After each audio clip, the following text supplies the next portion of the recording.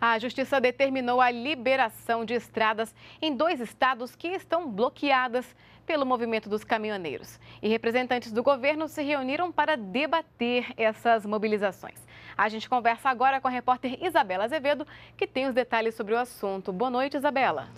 Olá, Aline. Boa noite a você. Boa noite a todos. As decisões foram dadas pelas justiças do Rio Grande do Sul e de Minas Gerais. Os juízes acataram a solicitação da Advocacia Geral da União, a AGU, que tem protocolado desde ontem pedidos de liminar, que são decisões em caráter temporário. Em Minas Gerais, o descumprimento da decisão gera multa de 5 mil reais por hora por veículo e 50 mil reais por hora por associação. No Rio Grande do Sul, é de 5 mil reais por hora por caminhoneiro. Janeiro. Além desses dois estados, a AGU acionou a Justiça em Goiás, Mato Grosso, Mato Grosso do Sul, Paraná, Santa Catarina e Bahia, sendo que na Bahia o pedido foi protocolado hoje. A Polícia Rodoviária Federal tem acompanhado a situação de perto nos estados. E aqui no Palácio do Planalto, várias reuniões foram feitas durante o dia, com presença de ministros como Miguel Rosseto, da Secretaria-Geral da Presidência da República, da Justiça, José Eduardo Cardoso, e o AGU, o advogado-geral da União, Luiz Inácio Adams. O ministro Miguel Rosseto falou à imprensa depois e disse que o governo federal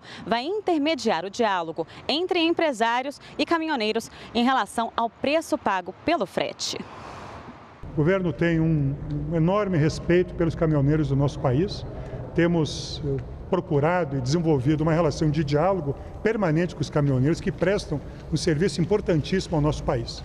Nós estamos, portanto, nesse momento estimulando esta relação de negociação direta com empresários, eh, e representantes dos caminhoneiros, estimulando esse diálogo eh, e acreditamos muito nesse diálogo que faremos amanhã, às 14 horas, aqui em Brasília, reunindo lideranças dos caminhoneiros e lideranças empresariais.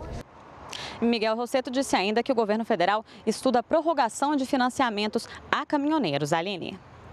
Isabela Azevedo, muito obrigada pelas informações ao vivo.